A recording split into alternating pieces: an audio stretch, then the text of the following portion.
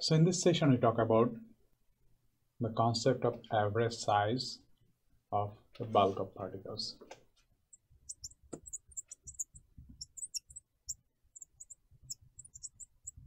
Now the idea here is that if you have a bulk of particles with different sizes, what is the average size or D? Now here we have some assumptions first. So the first assumption is that the particles are of the same shape.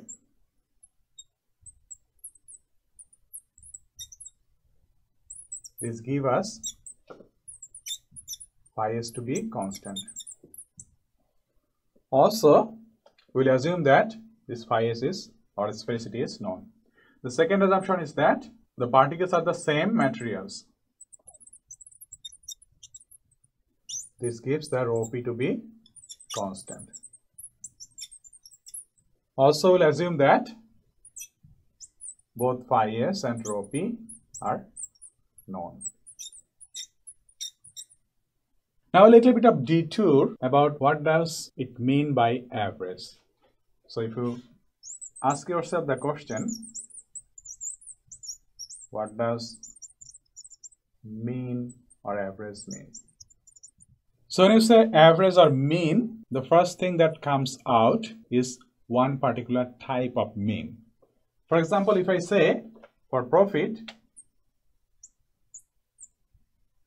so from a business, if the profits are 10k 15k 20k in three successive years we have an mean or average profit of 15k now this is true because the profits can be added however think about the growth rate another term a business is a growth of 10%, 0%, and 50% in three successive years. What would be the average or mean growth? Now, if you take the average of these three numbers, 10, 0, and 50, you get an average of 20%.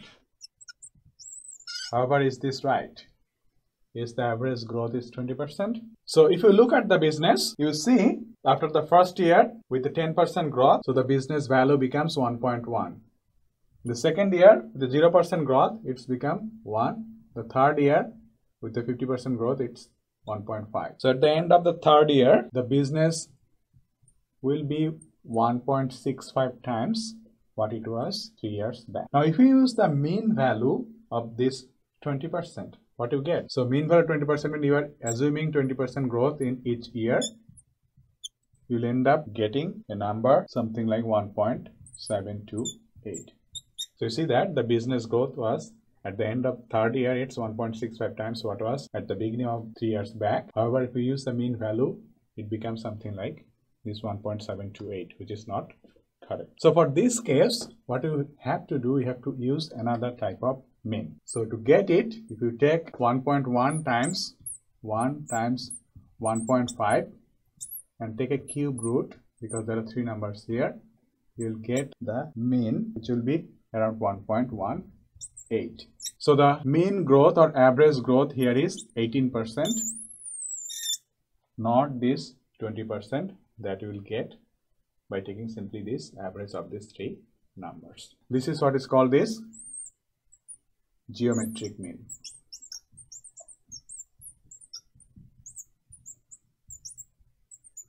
And if you look at these numbers now 18%, you will see that if you multiply 1.18 times 1.18 times 1.18 it will give you the value of 1.643 which is closer to the true value 1.65 so this is called what is called this geometric mean and this is what is called this arithmetic mean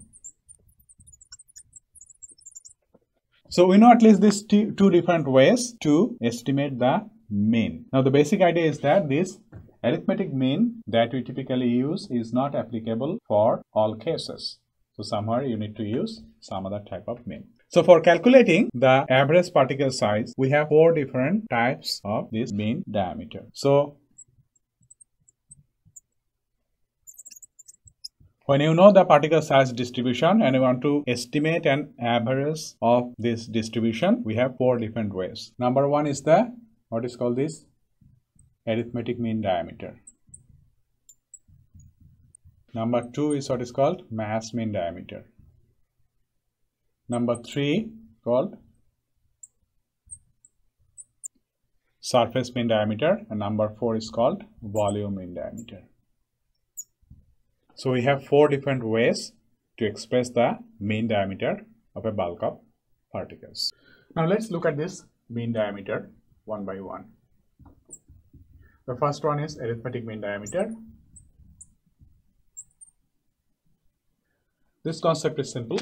If you have particles, the three particles, dp1, dp2, dp3. So the mean diameter you can represent simply as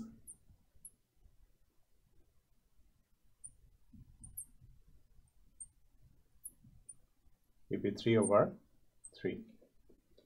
Now if you have n1 particles belonging to the group size dp1 and n2 particles to the size group dp2 and you have small n different groups the particle dpn so we'll write this dn arithmetic mean equals simply it will be n1 times dp1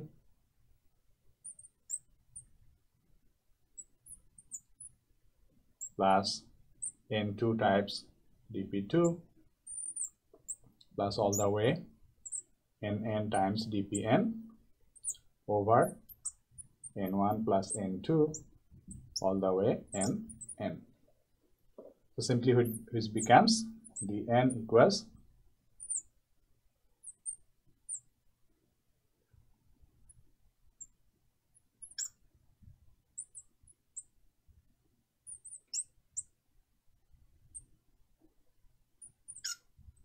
So this is the definition of arithmetic mean diameter.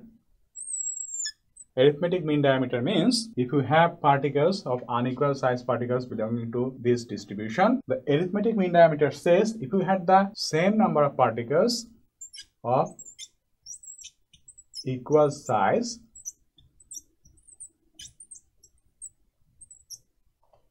what would be that size that would give you the same length if you put the particles one by one? Again what does arithmetic di mean diameter means? That if you have a bulk of particles if you had the same number of equal size particles what would be that size that would give you if you put the particles one by one they will form the equal length. So this bulk and this bulk would form the equal length. So that's the arithmetic mean diameter tells you that particular size. Now the second type is what is called this mass mean diameter. The mass mean diameter is similar to this arithmetic mean diameter. We represent it as d rho bar. However, for this case, instead of weighting by ni, it's weighted by xi, which is the mass fraction. So we have summation of i equals 1 to n xi dpi summation of xi where this xi would be the mass fraction belonging to each group. So if this group had a mass fraction x1 and this group has a mass fraction xn for this entire group the mass mean is calculated as this simply look at this for these two equations. You have the weighting parameter to be xi instead of ni. However don't get it confused with this. Does not mean that this equal size particle would give the same mass. That doesn't mean it. Okay? We'll see later when you do the volume mean diameter we'll see another concept. Third one is what is called this surface mean diameter For the surface mean diameter, the idea is that if you have a bulk of particle and if you have the same number of equal size particle, what would be that size to give you the same surface area as the bulk. So again, if you have a bulk of particles, surface mean diameter will tell you if you had the same number of particles with equal size, what would be the size that will give you the same surface area as that of the bulk. So now if you have these two groups, unequal size particles, and if you have this group with equal size particles. Remember that the number should be the same. So there are n particles here and also n particles there. The surface area will be the same. Now we know that when you have particles with unequal sizes, so you know that this specific surface area is given by 6 over phi s rho p summation of xi over dpi and summation of xi. Now you know that if you take all the masses, the summation of xi is 1. So now this summation of xi comes here simply because in many cases you may want to find the specific surface area if you choose instead of choosing all the screens if you choose one subset of the screens. In that case summation of xi will not be 1 that's why it comes here because in that case the specific surface area should be divided by the only for the screens that you are taking. For this equal size particles, if you take the size to be ds bar, its surface area will be 6 over phi s rho p p1 over ds. So because it simply has only one size, you will have 1 over ds. Because in that case, the xi is 1 and the summation of xi that's also 1. So now going back to the definition that the surface mean diameter is the diameter of the same number of equal size particles that will give the same specific surface area. So now equating these two, we'll have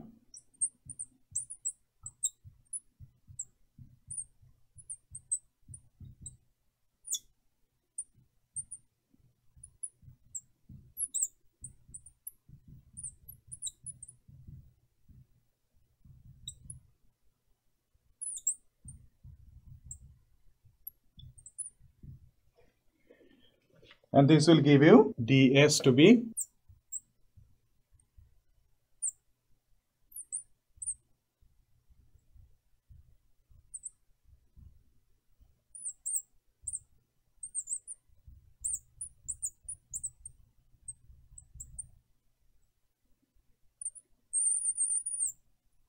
So this is the formulation for this surface mean diameter. So number four is the volume mean diameter. So volume mean diameter tells you if you have a bulk of particles, what would be the size of the same number of equal size particles that will give the same volume as that of the bulk. Now for this case, if you look at the volume of this unequal size particles, we can write this volume to be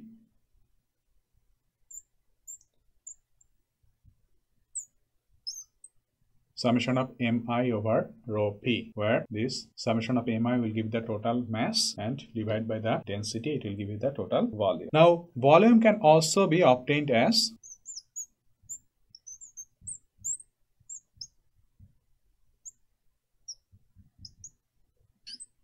a dpi cube summation of all of this. So a is the volume shape factor dpi cube. So you multiply the diameter cube with the volume shape factor you get the volume. So this will give for this individual group and then all this volume added together give you the entire volume. Now for the equal size particle we know that if you multiply this dv bar cube you get the volume of individual particle and if you multiply this by the number of particles you get the total volume which is the volume of this entire bulk. So you have the volume of this part to be this and the volume of the equal size particle to be this. By the definition of volume mean diameter is the size that will give you the same volume as that of the bulk. So now we need to equate this two. Now in how many number of particles are there you can find out by expressing n equals summation of ni meaning number of particles belonging to each group which can be again obtained as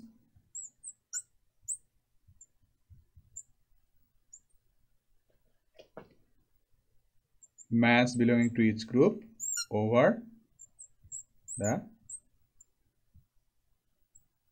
volume of one particle belonging to each group. Multiplied by this rho p that will give you the mass of so this give you the mass of one particle this gives you the mass of particle belonging to that group and this will give you the total number of particles belonging to each group and so if you take the summation over you'll get the number of particles altogether. So now equating these two, we have V equals mi over rho p. So that's the volume of this bulk. So we'll equate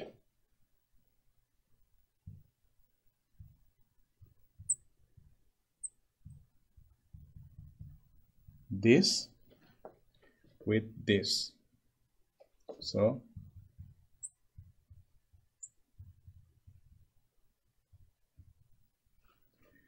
Now if we replace this with this formulation here, so this one you get instead of n, you replace by this. So summation of mi over a dpi cube rho p times a dv bar cube. So you see this a and a gets cancelled out, this rho p and rho p gets cancelled out and if we take dv so we'll have dv cube to be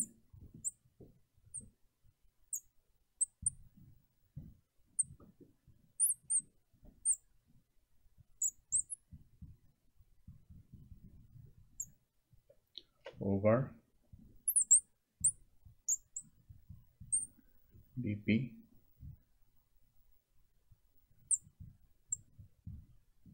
Now if we divide both the numerator and denominator by the total mass, you'll get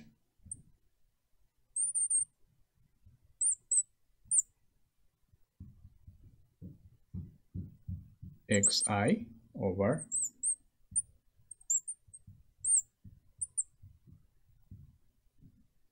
xi over dpa cube. Now that's equal dv cube. So if you take dv bar it will be this raised to the power one third so that's the formulation for this volume mean diameter so we have seen this arithmetic mean diameter it's simply the average that we typically know in the general sense there is this mass mean diameter where the ni is replaced by xi third one is the surface mean diameter this summation of xi over summation of xi over dpi and this summation of volume mean diameter which is summation of xi over summation of xi over dpi cube raised to the power one third. So first case we looked at that the arithmetic mean diameter will give you if you have the same number of equal sized particles that will give you the same length as that bulk if you put the particles side by side. For surface mean diameter it's again the